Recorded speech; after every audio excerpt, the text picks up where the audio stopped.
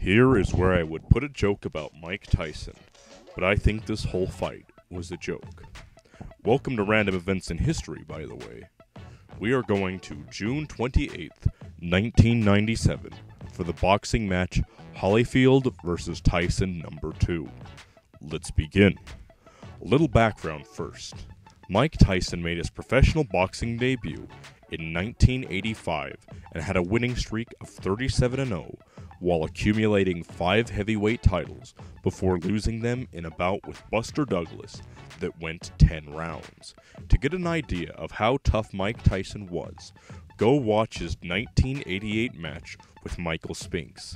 To get the same idea for Holyfield, watch his 1990 match with Buster Douglas. Now, shenanigans, including Tyson being convicted on a charge of rape and a brief retirement of Holyfield, put off what many boxing fans viewed as the match of a lifetime. But after both made a comeback, and a date was set for November 9th, 1996, dubbed Finally, as finally, the two legitimate tough guys would fight.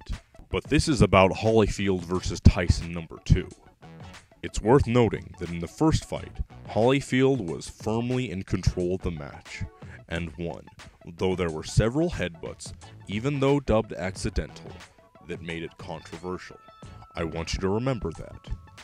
The match I'm talking about took place on June 28, 1997, and is nicknamed the Bite Fight for a good reason.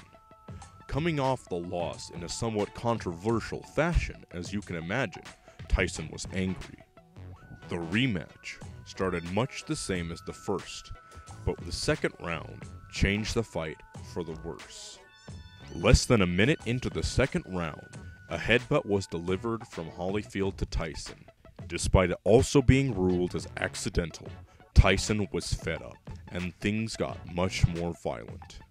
At the end of the third round, Tyson rolled out of a cinch and bit hard on Holyfield's right ear, tearing an inch of it off and spitting it on the ground. Though Tyson maintains the damage was due to a punch to the ear, it was clear that that just wasn't the case. After a few minutes of decision making, the match was allowed to continue with a penalty on Tyson, but that didn't stop him from biting the other ear the first chance he got.